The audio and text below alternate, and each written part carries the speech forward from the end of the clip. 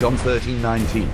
Now I tell you before it come, that when it is come to pass, ye may believe that I am he. June 30th, 2014. Revelation, June 29, 2014. In a vision, a well known religious leader in the South, USA, suffers major setback or wrongdoing. His past success is unable to lift him from the unfortunate demise. Other leaders seem to try to help,